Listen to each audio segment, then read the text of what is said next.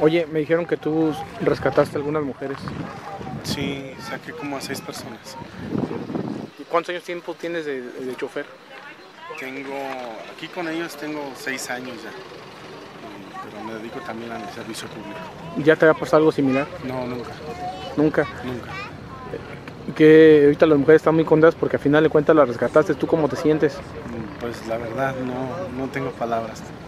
Pues, mi reacción fue sacarlas liberarlas de ahí porque el camión empezó a aventar humo y dije, pues, mejor sacarlas, no vaya a explotar. Ese fue mi, al momento en lo que pensé nada. Y al momento que viste, se se te vinieron encima los, el otro carro, Sí, ¿qué pasó? se me vino encima.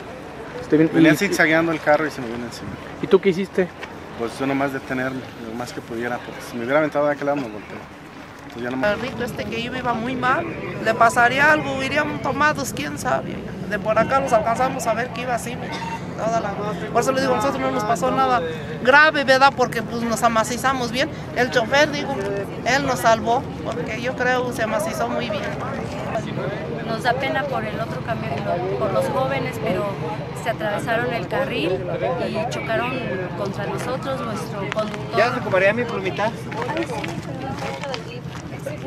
Gracias. no se crea.